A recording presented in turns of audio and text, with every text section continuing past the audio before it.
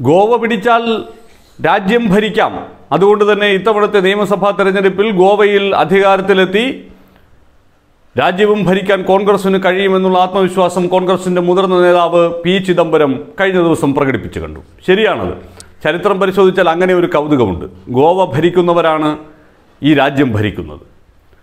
രണ്ടായിരത്തി പതിനാലിൽ കോൺഗ്രസിൽ നിന്ന് കൈവിട്ടുപോയി.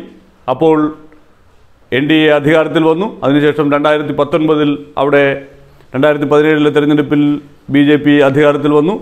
രണ്ടായിരത്തി പത്തൊൻപത് ആയപ്പോഴേക്കും വീണ്ടും നരേന്ദ്രമോദി അധികാരത്തിൽ വന്നു. ഇത്തവണ ഈ രണ്ടായിരത്തി ഇരുപത്തിരണ്ടിലെ തെരഞ്ഞെടുപ്പിൽ ഗോവയിൽ ഭരിക്കാനായാൽ രണ്ടായിരത്തി ഇരുപത്തിനാലിൽ ഇന്ത്യ ഭരിക്കാം എന്ന ആ ചരിത്രം ഓർമ്മപ്പെടുത്തിക്കൊണ്ടാണ് അവിടുത്തെ പാർട്ടിക്കാരെ ഉത്തേജിപ്പിക്കുന്നതിന് വേണ്ടി പി ചിദംബരം അവിടെ തെരഞ്ഞെടുപ്പ് കമ്മിറ്റി ഓഫീസ് ഉദ്ഘാടനം ചെയ്യുന്ന വേളയിൽ അത്തരമൊരു ചരിത്ര സത്യം പറഞ്ഞത്. കൗതുകമുള്ള ഒരു യാഥാർത്ഥ്യമാണ്. പക്ഷേ അതിനകത്തൊരു വലിയ തിരുത്തുണ്ട്. കഴിഞ്ഞ തവണ അവിടെ ഏറ്റവും വലിയ ഒറ്റകക്ഷി കോൺഗ്രസ് ആയിരുന്നു. ഒൻപത് സീറ്റിൽ നിന്ന് പതിനേഴ് സീറ്റിലേക്ക് ഉയർന്നു. ബി ജെ പി ഇരുപത്തിയൊന്നിൽ നിന്ന് പതിമൂന്നിലേക്ക് വീണു.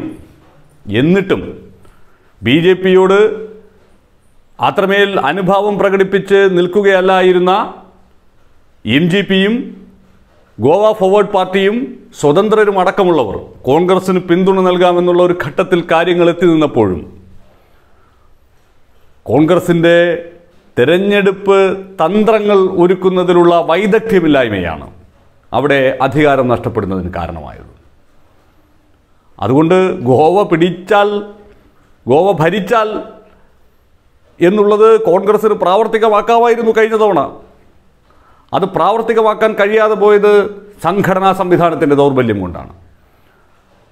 കെ സി വേണുഗോപാൽ അന്ന് പാർട്ടിയുടെ ജനറൽ സെക്രട്ടറിയാണ്. അദ്ദേഹത്തിനാണ് അവിടെ ചുമതല കൊടുത്തിരുന്നത്. അദ്ദേഹം അടക്കമുള്ളവർ അവിടെ ക്യാമ്പ് ചെയ്ത് ഇങ്ങോട്ടേക്ക് ഈ സ്വതന്ത്രരെയൊക്കെ ആകർഷിക്കുന്നതിനുള്ള തന്ത്രങ്ങൾ ഒരുക്കുന്നതിനിടയിൽ ഇവിടെ നിന്ന് രണ്ടുപേർ അങ്ങോട്ട് പോയി കോൺഗ്രസിൽ നിന്ന്. അതാണ് അവിടെ സംഭവിച്ചത്. ഇപ്പോൾ ഈ പതിനേഴ് പേരുണ്ടായിരുന്ന കോൺഗ്രസിന്റെ പാർലമെന്ററി പാർട്ടി ഇപ്പോൾ നാല് പേരായി ചുരുങ്ങിയിരിക്കുന്നു.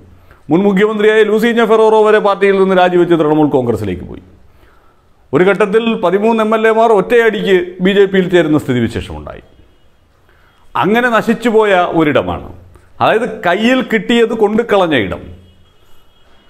അന്ന് മനോഹർ പരീക്കറിനെ കേന്ദ്രമന്ത്രിസഭയിൽ നിന്ന് ഇങ്ങോട്ടേക്ക് അയച്ച് ഇവിടെ മുഖ്യമന്ത്രിയായി കൊണ്ടുവന്ന് ഈ ഇടഞ്ഞു നിന്ന ഘടകകക്ഷികളെയൊക്കെ ചേർത്ത് നിർത്തി സ്വതന്ത്രരെയും ഒപ്പം നിർത്താൻ ബി കാട്ടിയ ആ തെരഞ്ഞെടുപ്പ് മാനേജ്മെന്റ് കോൺഗ്രസിന് സാധിക്കാതെ പോയി. ഒരു കാലത്ത് കോൺഗ്രസ് തെരഞ്ഞെടുപ്പ് തന്ത്രജ്ഞതയ്ക്ക് പേരുകെട്ടവരായിരുന്നു അവിടെയാണ് ദുർബലരായ കുറേ ജനറൽ സെക്രട്ടറിമാരുടെ സാന്നിധ്യം കൊണ്ട് കോൺഗ്രസിന്റെ ആ തെരഞ്ഞെടുപ്പ് തന്ത്രങ്ങളൊക്കെ പൊളിഞ്ഞു വീഴുന്ന കാഴ്ചകൾ നിരന്തരമായി നമ്മൾ കണ്ടത്. അതുകൊണ്ടാണ് പറഞ്ഞത്. ചിദംബരം പറഞ്ഞത് ഒരു പച്ചയായ യാഥാർത്ഥ്യം. പക്ഷേ രണ്ടായിരത്തി പതിനേഴിൽ അധികാരം കൈക്കുമ്പിളിൽ കിട്ടിയതായിരുന്നു. അത് കൊണ്ടുകളഞ്ഞവരാണ് കോൺഗ്രസ്. അതുകൊണ്ട് ആ ചരിത്രത്തിന് അന്ന് തന്നെ ഒരു വകഭേദമുണ്ടായിട്ടുണ്ട് എന്നുള്ള യാഥാർത്ഥ്യം.